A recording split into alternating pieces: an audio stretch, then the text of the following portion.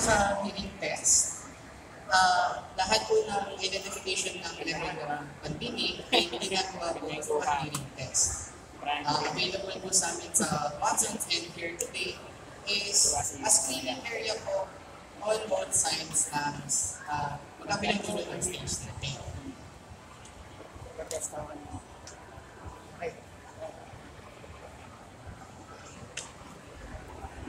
So po ang pinakaunang ginagawa po namin when may pasyente is sisilipin namin yung tenga.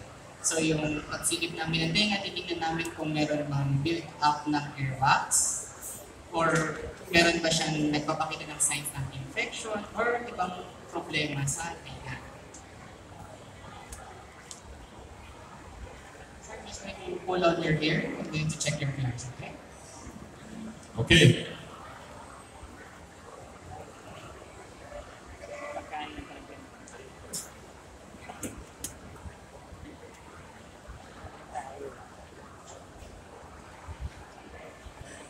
Uh, other side.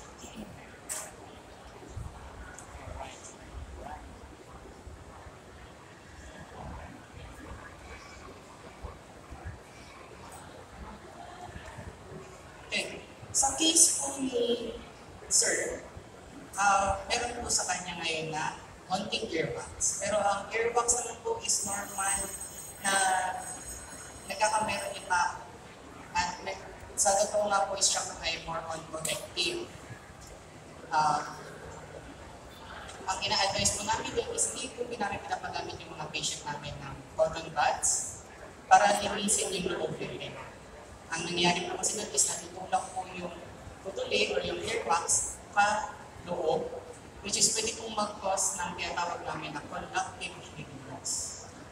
Kaya, pero po sa case po ni Sir, kahit meron siyang konting earwax, hindi naman siya ganun karami. Okay?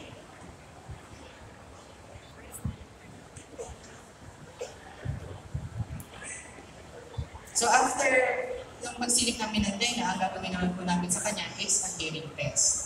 Yung meron po sa atin dito sa magkabilang dulo ng stage is isa po sa mga hearing test na ginagawa. Mabilis lang yung hearing test. So, yung initial is, I think, one minute. Tapos, uh, we'll go further with another five minutes sa test po. At napakadali lang. So, left side and right side po ng ating pong event center, magpa-check na kayo. So, ang ginagawa ng po, once po na may identify namin na yung pasyente is may uh, problema sa parinig, ang susunod na step po is uh, kakabitan po ng hearing aid. Yung hearing aid po is nag-iiba depende po sa level na hearing loss ng pasyente. Kasi meron po tayong limang level ng pandinig. Meron po tayong normal, which is kahit bulong may maririnig natin. Meron pong mild, kailangan takasan ko ng konti. Takasan ko, takasan ko yung boses ko ng konti para ako maintindihan. Pag moderate, pasigaw ako ng konti, bago ko maintindihan ni patient, pagdating kay severe at saka kay profound, eh, sumisigaw na ako ng pinakakaya ng aking boses. Bago niya ako maintindihan or bago niya pa marinig yung boses ko. Okay po? So yung available namin available po namin item sa Watson is maliit lang naman po. So yung size niya is Parang mas maliit pa nga yata sa Bluetooth. um, Hindi siya yung traditional na hearing aid na napakalaki, kasing laki ng ah, likod ng tenga. So ito mas maliit talaga. Very ah, up to date. So pag nalagay namin sa Watson, na-adjust po namin yung hearing aid. Uh, depende po sa uh, hearing profile ni patient. So sa case po is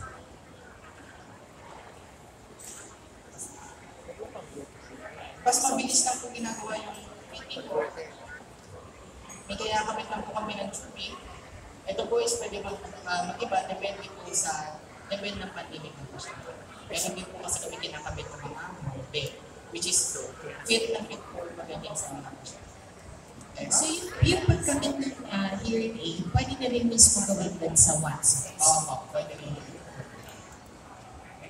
So, yung mga walk-in clients natin, yung mga gustong magpa-screen, pwede nilang gawin doon sa Watsons. At the same time, pag na-analyze sila at nagkaroon na ng ah, final diagnosis, pwede din kabitan doon mismo sa Watsons. Opo.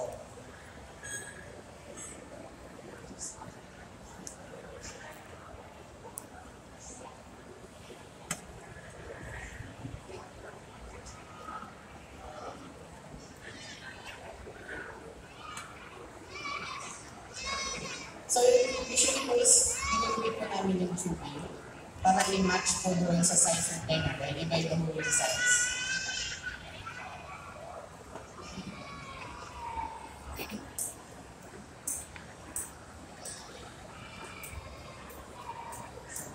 Lang ang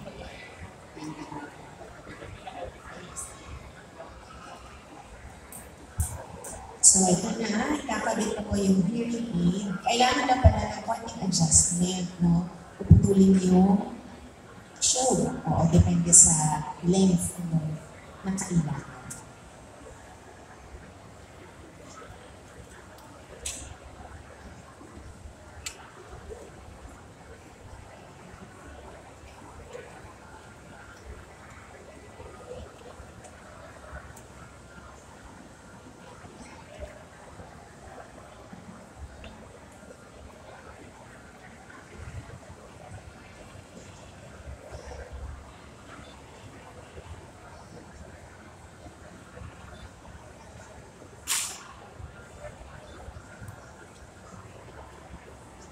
Papasok lang po.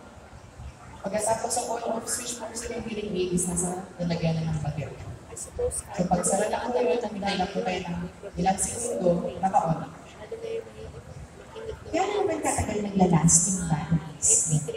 Yung battery yung hearing mo is, tinatawag namin siya na zinc air. Ang usual life niya po is depende po sa gamit ng hearing aid. Pero po, bin- ang usual range is dalawang linggo hanggang tatlo.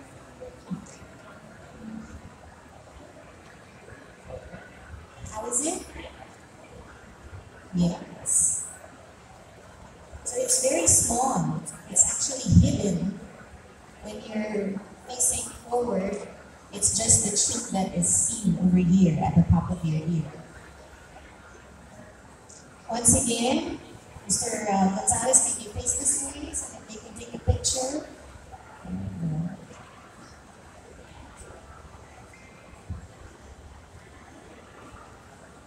And Jay, sa, sa ano, sa usual na screening tests, magkano siya? Magkano inaabot ang screening tests? Na ngayon ay libre sa atin dito. Well, iba lang kasi ch- charges depende sa. Okay, so definitely it's not for free. Hindi siya libre. Kapag uh, pupunta ka sa ibang ah, ah, clinics or uh, centers na. Oh, so right now, ngayong hapon ito, take the opportunity ang ating pong screening test areas, left side and right side ng ating pong events center ay nagbibigay po ng libreng screening test. So punta na po kayo, bukas po ang ating pong screening test areas, left side and right side of the event center hanggang 7.30 p.m. So magpunta na kayo, nagpa, nagpa-test na rin ako kanina and it's a good thing, everything's normal. Napakabilis lang po at masaya pa, maganda pa yung uh, ating pong uh, test na gagawin. So how is it, Mr. Gonzalez? It fits perfectly well. Uh, now it feels like if there was nothing there. It's not annoying or uh, you No. know, actually No, no, no, not at all. anything. That's good. Yeah, really important more that it's like if you were having nothing, the only thing is get better. It's lightweight. Very light. I mean, so light that you uh, very fast forget that you have anything in. That's good. Anything more to add to uh, our demonstration? Yeah, this really allows you to, uh, I mean, continue with a very normal life. Uh, you can continue, you can dance. Wow, This- just like that. anything. So it's really not something that uh, is you look bad. It's something that is going to uh, make you perform better because you can hear very well. Thank you. Thank you very, very much. Let's give a big round of applause.